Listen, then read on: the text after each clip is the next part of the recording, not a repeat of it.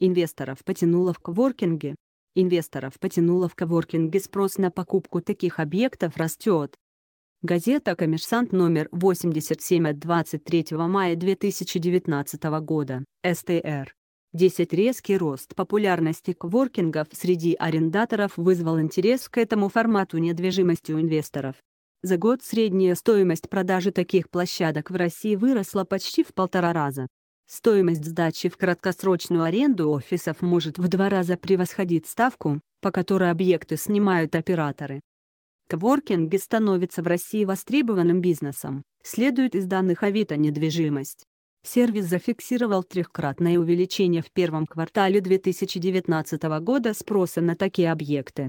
Это привело к изменению стоимости их продажи, средние цены за год по всей России выросли на 47%, до 19,2 миллиона рублей при этом объекты в Москве формируют 55% предложения. Их средняя стоимость составляет 20 миллионов рублей, это на 40% больше, чем годом ранее.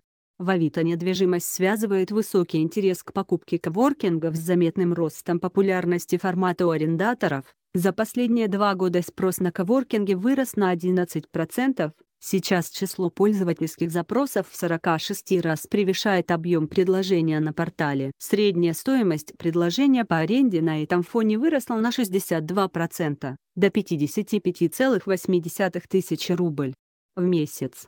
Резкий рост сегмента офисов с краткосрочной арендой отмечают и консультанты рынка недвижимости. По прогнозу Colliers International, в 2019 году в Москве могут быть открыты 15 крупных коворкингов общей площадью 46 тысяч. Где небольшие компании нашли себе место в Москве.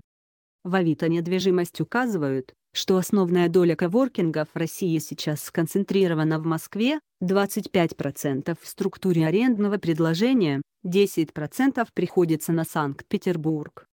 В. Colliers International, указывают, что сейчас в Москве действует около 110 тысяч КВ. М помещений коворкингов, в которых могут разместиться 30-35 тысяч человек. Средняя ставка аренды рабочего места составляет 14,8 тысячи рубль в месяц. За год этот показатель вырос на 4%. Сами операторы коворкингов при этом значительного роста ставок в будущем не ждут. Управляющий директор Ruggers, Ирина Баева объясняет, что на рынке постоянно появляются новые игроки, предлагающие на старте продаж низкие цены. Всего, по ее оценкам, в России почти в сотне городов с населением 250-300 тысяч человек есть коворкинги. Директор отдела исследований рынка CPRE, Анна Шепелева объясняет, что экономика каждого проекта строится индивидуально.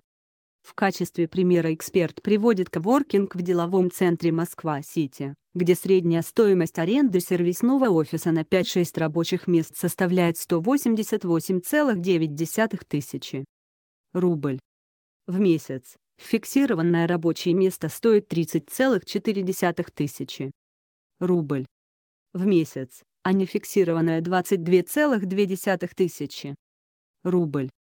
Если учитывать среднюю загрузку 75%, то можно предположить, что кворкинг получает около 60-65 тысяч рубль за 1 КВ.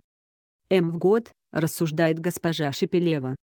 Базовая стоимость аренды в здании для самого кворкинга может составлять 30-32 тысячи рубль за 1 КВ.